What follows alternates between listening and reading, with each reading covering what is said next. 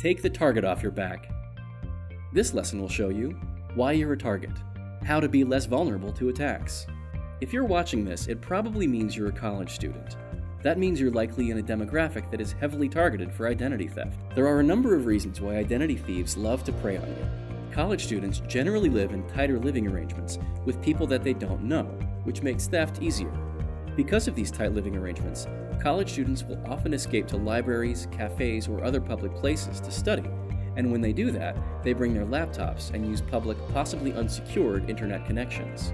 College students frequently need to disclose personal information. Student loan borrowers complete the FAFSA annually, submit loan applications, register for classes using personal information, and store that important documentation. College students move more frequently than most people, it's not uncommon for vital paperwork to be discarded inappropriately or to be shoved in an unsecured box while you move.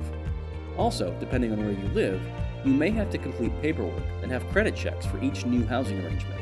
College students frequently use their personal accounts online and therefore share more information. They commonly have multiple social media and email accounts. Although you might be a target, you don't have to be an easy target. Here are 10 ways to help keep the identity thief from getting to you. 1. Get a shredder. All junk mail and documents that have personal information get eaten by the shredder. 2. Avoid submitting personal information over unsecured public networks. 3. If you live with several roommates or in a dorm setting, bring valuable documents to a place where they're safe. For many college students, that's their parents' home.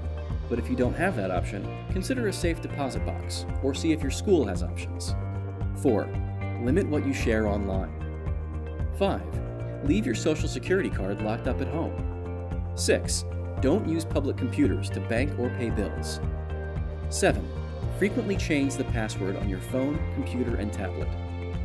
8. Check your account statements monthly and have them delivered to your secure email account. 9. Use the school's virtual private network if you need wireless internet, whenever possible. 10. Do not give personal protective information over the phone, especially in places people could hear.